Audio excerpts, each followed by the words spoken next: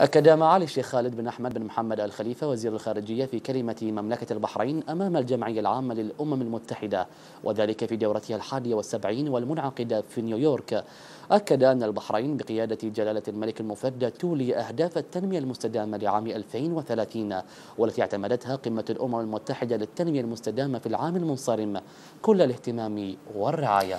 وأضاف معالي وزير الخارجية أن مقر الأمم المتحدة شهد جانبا مهما من جوانب التفاعل بين مملكة البحرين والأمم المتحدة وهو الاحتفال الكبير الذي نظمته البحرين في الثالث والعشرين من الشهر الجاري تحت عنوان جائزة صاحب السمو الملكي الأمير خليفة بن سلمان الخليفة. للتنمية المستدامة. سيد الرئيس أن انعقاد هذه الدورة تحت عنوان أهداف التنمية المستدامة تحرك عالمي لتحويل مسار عالمنا. يعبر عن العزم الجماعي والرغبة الصادقة نحو تنفيذ أهداف التنمية المستدامة لعام 2030 التي اعتمدتها قمة الأمم المتحدة للتنمية المستدامة في العام المنصرم. والتي توليها بلادي بقيادة سيدي حضرة صاحب الجلالة. الملك حمد بن عيسى الخليفة ملك مملكة البحرين حفظه الله. كل الاهتمام والرعاية وكان لها سبق البدء في تحقيقها ولم تتوانى في, في واجبها لبلوغ أهدافها التي شهدت بها ووثقتها التقارير الأممية. وستواصل التزامها بذلك وفق الخطط والبرامج الوطنية الطموحة إيمانا منها بأن تنفيذ تلك الأهداف والتفاعل معها يضمن مستقبلا زاهرا لأبنائها.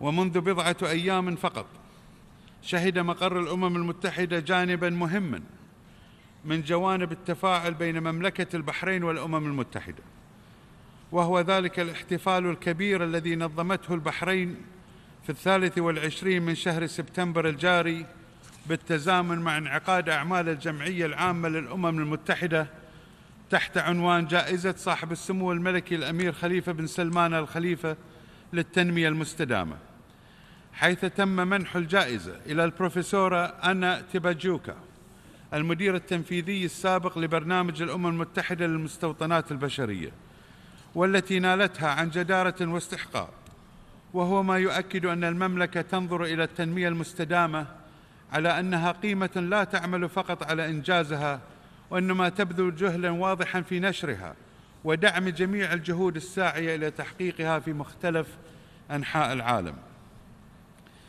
كما أن ما حققته المرأة البحرينية من إنجازات عالمية وأبرزها انتخاب مملكة البحرين في لجنة وضع المرأة وحصولها على عضوية المجلس التنفيذي التابع لهيئة الأمم المتحدة للمرأة. وحصولها على المركز الأول دوليا كأسرع معدل نمو لمشاركة المرأة في النشاط الاقتصادي وفقا للتقرير الصادر عن منظمة العمل الدولية لهذا العام. لهي دلائل واضحة على التعاون الوثيق بين مملكة البحرين والأمم المتحدة فضلا عن ما عما تعكسه من اهتمام وحرص كبيرين من بلادي ممثلة بالمجلس الأعلى للمرأة. برئاسة صاحبة السمو الملكي الأميرة السبيكة بنت إبراهيم آل خليفة لتعزيز النهوض بالمرأة البحرينية داخليا وخارجيا وتفعيل مشاركتها في كافة القطاعات الحكومية والمجتمعية بوصفها مكونا رئيسيا كان وسيظل مساهما ومؤثرا في عملية تنمية المجتمع وتقدمه.